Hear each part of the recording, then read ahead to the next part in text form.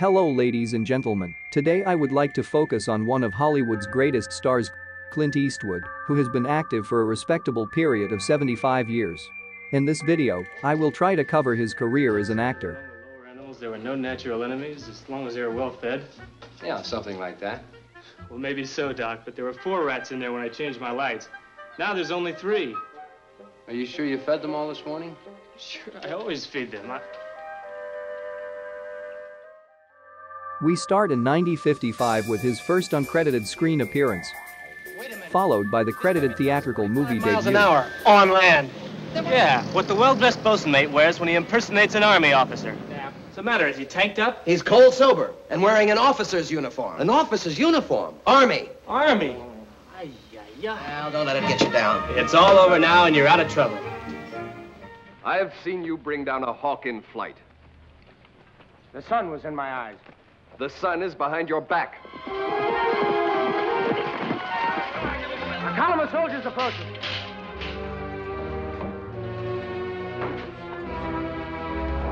All right, men. Fire two rockets on this first pass. Here goes. Dropping napalm. Follow an order. What is it, Will? Telephone, Dr. Parker. All right. Should study these when they're dry. Harry, I'll call you tomorrow from Chicago to see if they answer our question. Good luck with your speech, sir. Oh, thank you, Will. I'll need it. Morning, Sheriff. Morning, Tom. Today's the day, isn't it? His first uncredited appearance in Western. Yeah, today's the day. I was going over to the casino to lay a bet when they open. I hear they're giving five to three. Hall don't hang. Eight to three. How would you bet if you were a betting man? You like girls? Yes, ma'am. I do.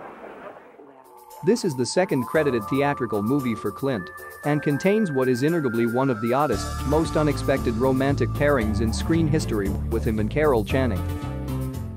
If you do, you're gonna meet up with a pack of trouble. You mean before them cows change their mind? No, before Rose decides she wants to sell something else. Come on.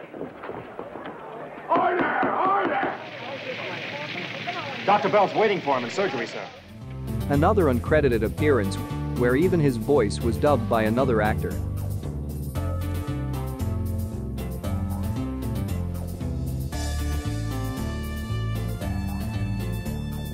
You're not carrying the rifle, Mr. Stanfield. Well, I'm a man of principle, sir.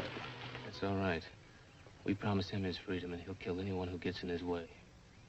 You've had your chance. Eastwood reportedly described this movie as probably the lousiest Western ever made. According to him, it was made in eight days. And he had such a miserable time making this film and was so disappointed with how badly it turned out. He considered quitting show business. You wanna buy some? Is Captain Honoré around? Hey. No thanks, it might mix the breed.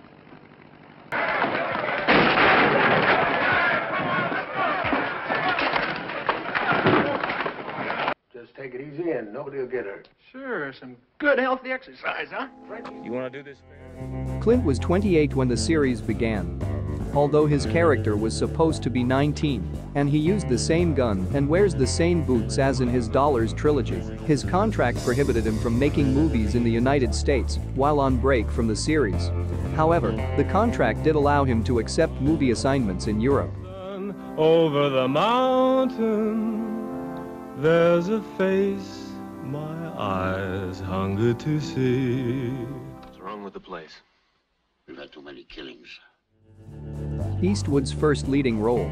His asking price to appear in this movie was just $15,000. Director Sergio Leone warmed to him very quickly and joked that he had only two expressions. With hat or without hat, as a non-smoker, he found that the foul taste of the cigars put him in the right surly frame of mind to play the man with no name.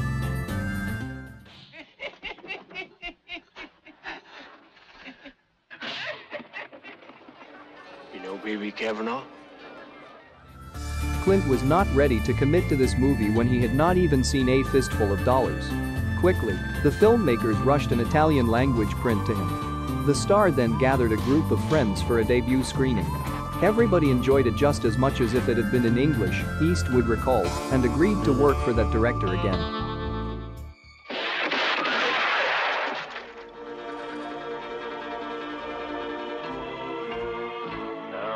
start. I'll kill you! Such ingratitude after all the times I've saved your life, your spurs,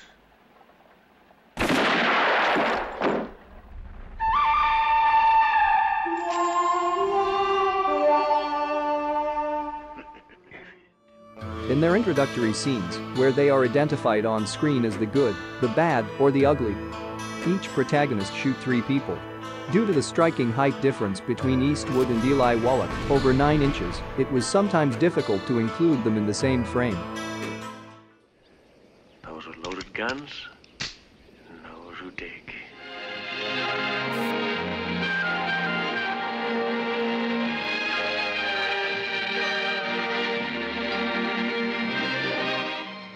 Clint was given the choice of taking $25,000 in cash or $20,000 and a brand new Ferrari.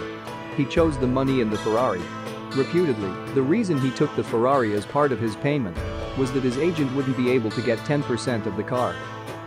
Ooh. Put your pants on, Chief. What's going on here? You're under arrest. What's the charge? Impersonating an officer. When Coogan is searching the New York City nightclub, the large screen plays a scene from Tarantula, a science fiction movie which was Eastwood's second movie.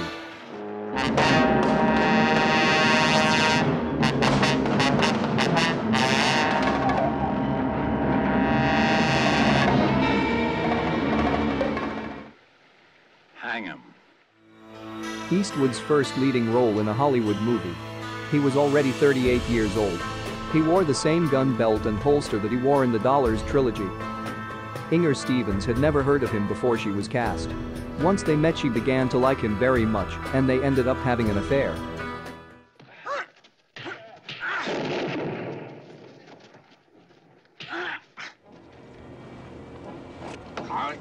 It's just my shoelaces.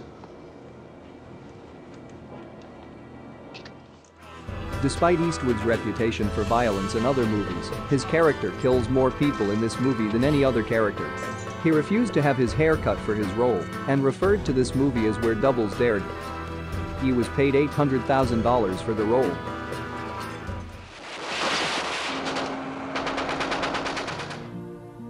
Her heart was made of holidays. Her smile was made of dawn. Eastwood and Lee Marvin did their own singing. Marvin's recording of the song Wandering Star went to number one on the UK charts, earning him a gold record. There's more than just gold. Gold is enough. That's buried below. Beautiful gold. There's seed in the ground. You wouldn't by any chance know how many soldiers in the garrison? More or less, you know. About 200 and some cannon. Can you shoot? No, I can't shoot, and you made me climb that thing for nothing. Now take it easy. Just wait a minute. Shirley MacLaine gets top billing in the credits, both opening and closing. This was the last time Clint received second billing or anything less than first, until A Perfect World. He has on the same gun belt and holster that he wore in the Dollars trilogy. Speak English. Come on. Yeah, yeah. How many bars like this in your trucks? Fourteen 14 what? thousand. Why don't you quit your bitching and just... Clint signed to do this movie mainly because his friend and favorite director, Don Siegel, was set to direct it. However, Siegel ran into post-production problems and had to withdraw from the project. Eastwood, who had already signed a contract to do this movie, couldn't pull out. Sometimes a man's got to do things he doesn't particularly like. Never thought you'd be afraid to kiss a girl. Clint and Jo Ann Harris had a love affair that continued well after they made the movie. During the making of this movie, he directed his first movie, a behind-the-scenes look at producer and director Don Siegel at work. Feel them all the way down to my toes. You girls know why Miss Dabney there knocked me down the stairs. That's because I went to Carol's room instead of hers. Start a relationship uh, thinking you're going to be completely honest, and all of a sudden the whole thing gets out of hand. It's that other bitch, isn't it? What are you talking about? The picture in the silver frame in your dresser? Look, that picture's got nothing to do with you. Eastwood had an experience similar to this movie in real life about 21 years earlier when an ex-girlfriend stalked him and threatened to commit suicide after he broke up with her.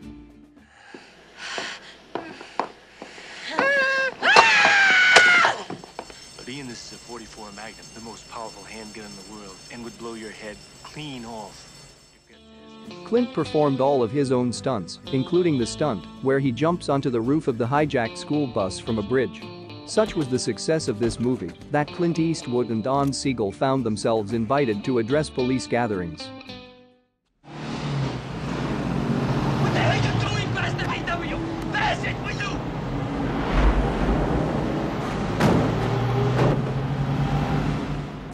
That's possible. Adios. Adios.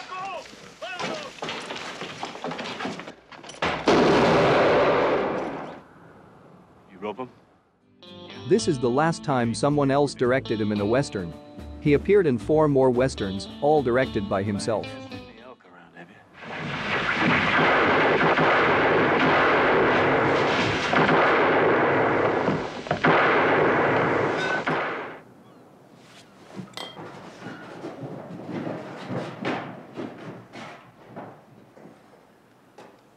Faster than you'll ever lift it. The scene, when he lights a stick of dynamite with his cigar, is an homage to his spaghetti westerns from director Sergio Leone, where he lights dynamite and cannons on fire with his cigar. Another homage to his Man with No Name trilogy is when he shoots hats off people's heads.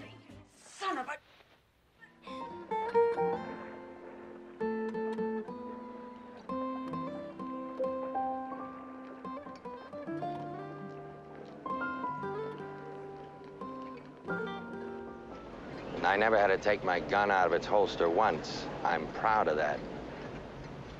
Well, you're a good man, Lieutenant. Good man always knows his limitations. Sit down! According to screenwriter John Milius, the reason the sex scene with the Asian woman Sunny is in the script is because Clint received many fan letters from Asian women that contained sexual propositions. Eastwood performed all of his own stunts and it's his favorite Dirty Harry movie.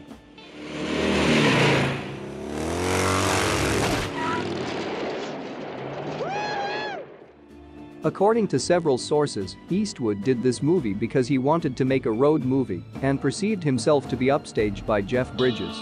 When writer and director Michael Cimino was discussing this movie with Jeff Bridges, he told him it was his job to make Clint laugh both on and off camera.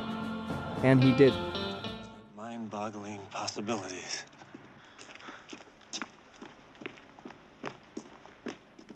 You forgot the 42 cents. I wonder what the tax people would say if I told them. Clint went on a three-day climbing course in Yosemite National Park, then practiced at home for several months. He did all of his own stunts, including the scene where he cuts his safety line over a drop of at least 1,000 feet. On the second day of shooting, one climber was killed by a boulder. Clint had been in the same position just a few minutes earlier. You're very good. I have really enjoyed climbing with you. We'll make it. Lord gives.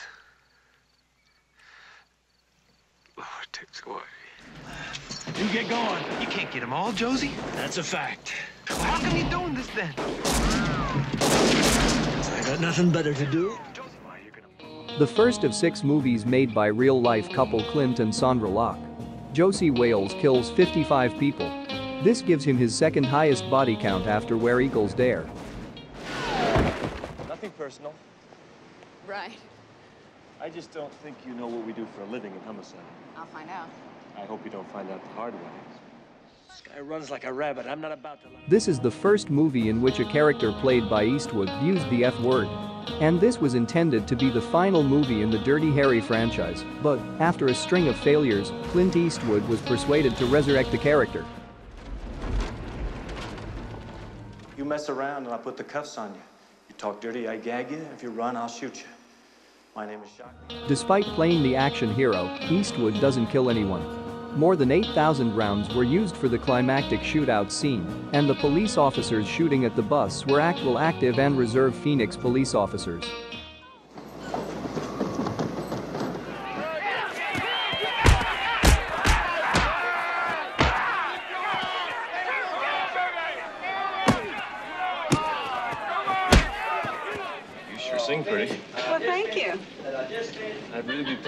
buy you a drink.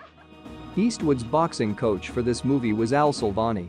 He used to train Jake LaMotta and had recently prepared Sylvester Stallone for Rocky. Adjusted for inflation, this is the biggest hit of his career and first completely pure comedy theatrical movie.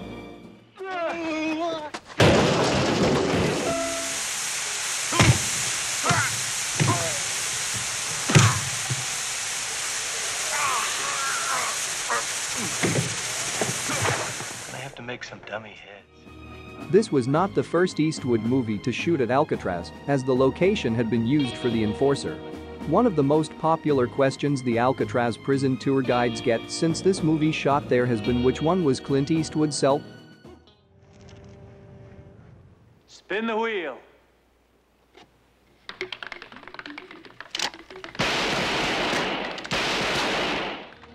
This movie was shot on a very low budget compared to other Eastwood movies and grossed around five times its budget cost at the box office.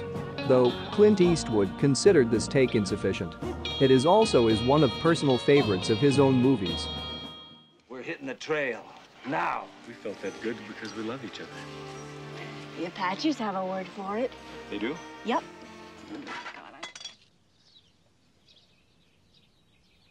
Is that win or lose or Eastwood took megadoses of vitamins and ate boiled potatoes like popcorn to bulk up for his role as a street boxer. One of Clint Eastwood's most successful movies at the box office. When adjusted for inflation, this movie is ranked in the top 200 grossing movies of all time.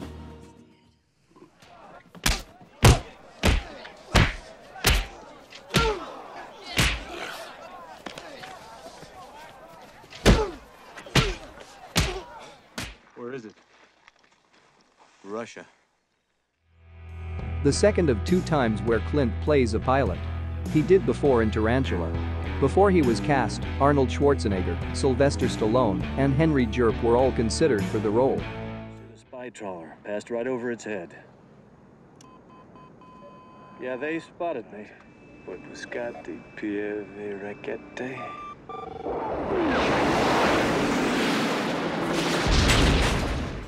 Oh, it all sounds so right to me when about you. Will you shut up? I'm the one who's supposed to promote. Clint cast his own son Kyle as Whit, due Kyle's interest in making a movie with his legendary father.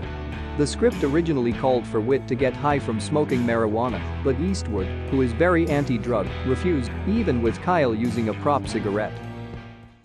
I've never felt me feel quite so bad. We're not just gonna let you walk out. The highest grossing and the only movie directed by Eastwood of the Dirty Harry film franchise. Although Eastwood made the phrase, go ahead, make my days, it was originally used a year earlier by Gary Swanson in Vice Squad.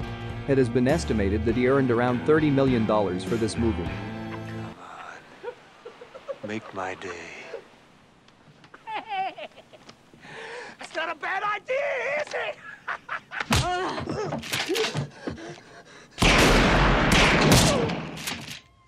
you liked it. That you liked her. But she split on you. Reportedly, Eastwood did the majority of the directing after apparently Richard Tuggle was too slow behind the camera. He was concurrently having affairs with several actresses who appeared in this movie, including Jamie Rose. It is also credited theatrical movie debut of his daughter Alison.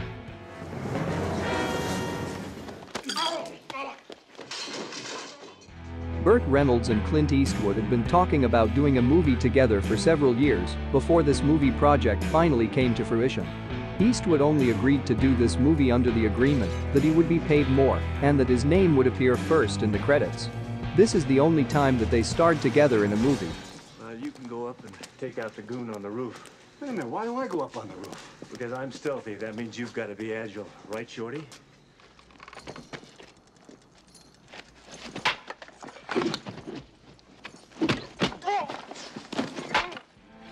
During shooting, Clint sustained what he describes as the worst injury he has ever had on set when a horse he was riding fell through thin ice and launched him forward. Clint suffered a dislocated shoulder. In one scene, he pulls his gun with his left hand because of this injury.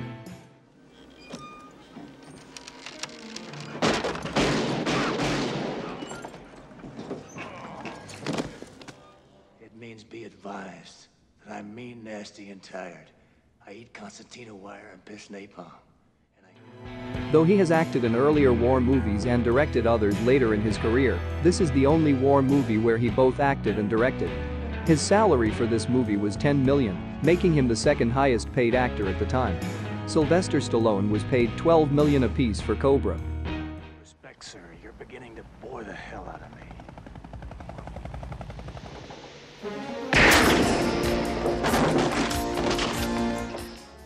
First of two Eastwood movies, which featured a then unknown Jim Carrey. The second was a cameo in Pink Cadillac. Reportedly, when Jim Carrey came into audition for this movie, he did not do one of his scenes from this movie, but instead did his Vegas Elvis Presley act, which cracked up Eastwood and his colleagues.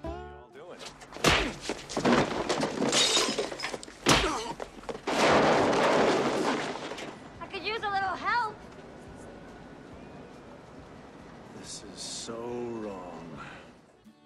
This movie was an attempt at returning Clint to the action comedy genre, which had produced box office successes, but it was a critical and commercial failure, and the least successful movie at the box office since The Beguiled. I know you from. Car wash. I don't care if this picture's shot in black and white or sepia tone, or we have to make the whole damn thing in animation. Pete and I. Eastwood's vocal characterization in this movie is very different from the way audiences usually hear his voice. He speaks in director John Huston's very idiosyncratic manner, which is done by way of drawing out the vowels in words. It's a sin. It's the only sin that you can buy a license and go out and commit. That's why I want to do it before I do anything else in this world. Who's up front in the cab? This movie featured over twice as many stuntmen as it did actors and actresses. It set the world record for the biggest ratio of stuntmen to actors and actresses. Reportedly, over 80 stuntmen worked on it. Eastwood agreed to do this movie in exchange for Warner Brothers, letting him make his personal movie project, White Hunter Black Heart. Well, you're so good at fixing things. Maybe you'll fix me a light. Now they cut up a woman. What? Yeah, cut up her face. It took Eastwood several years to actually get around to reading the script, as his script reader had initially told him that it wasn't very good. Gene Hackman read and rejected it, only to be later convinced by Clint to play a role. Only the third Western to win the Best Picture Oscar. Kill you. You're the only friend I got.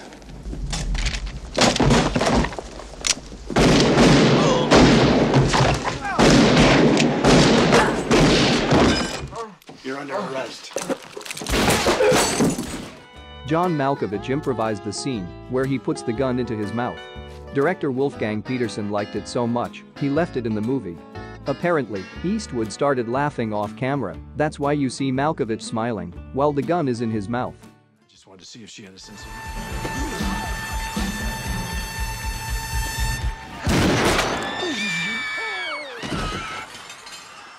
Let me tell you something, Sally.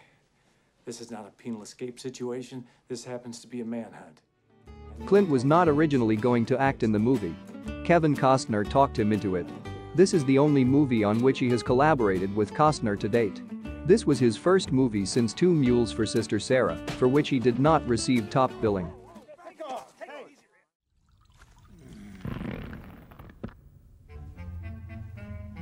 I'm gonna kill you, your mama, and all her bridge playing friends. Men still do that, don't they? I'm not out of date, am I? I've been picking flowers for a woman, a sign of appreciation. No, not at all. Except those are poisonous. This was the first love story of his acting career. The studio was initially only interested in casting younger actresses in the lead, but were failing to find anyone suitable. The idea to talk to Meryl Streep largely came from his own mother, Ruth Wood.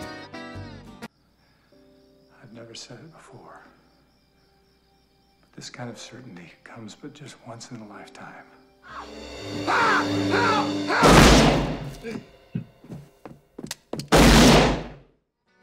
Eastwood and Gene Hackman never meet in the course of this movie, despite being the protagonist and primary antagonist, respectively.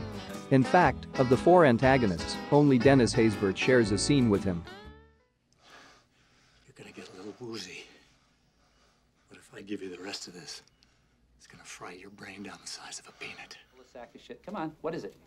It's, uh, Frank Beachum. Daughter Francesca Eastwood, her mother Frances Fisher, her father Clint, and his wife Dina all appeared in this movie. Francesca portrayed the daughter of Clint as in real life. Was there somebody else there? I don't know. I didn't see anything. Give me something, god damn it. Jesus, man, what do you want from me? What do you people want from me? All right, then. Yeah, lost my wife, lost my kid, lost my goddamn job. Is that rough enough for you? Did you lose your automobile, too? Look, if I wasn't 100% sure that my guys could do as well as your young astronaut. Clint pilots helicopters, but he's never had a desire to go into space. This is the only time he played a formally married man. His characters are usually single and meet their potential love interest if any, as the story develops.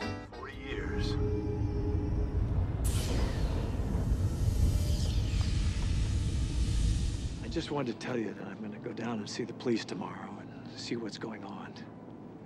Now, don't go thanking me and don't get your hopes up. Famous for playing Dirty Harry and sometimes other cops, portraying an FBI profiler in this movie, this is the final law enforcement movie to date where he plays some form of detective. Everything. There, you keep that tight. That'll pinch off the artery and you won't bleed to death.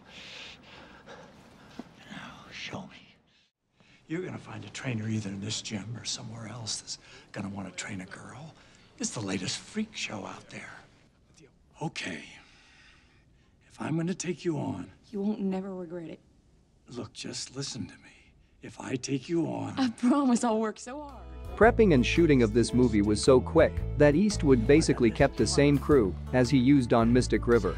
One of two boxing movies that won Best Picture. The other is Rocky. And one of two Best Director and Best Picture Oscar winners featuring Eastwood as actor, producer, and director, and Freeman co-starring. The first being Unforgiven. by keeping her alive, I'm killing her. How many swamp rats can you get in one room? I blow a hole in your face and then I go in the house and I sleep like a baby. You can count on that. Scott Eastwood appeared in this movie as Trey. His other son, Kyle, provided this movie's music score. Walt's dog, Daisy, is Eastwood's beloved family retriever in real life. Walt fires a weapon only once in this movie, accidentally, and says a total of 53 insults. Just turn around and go. You've come a long way.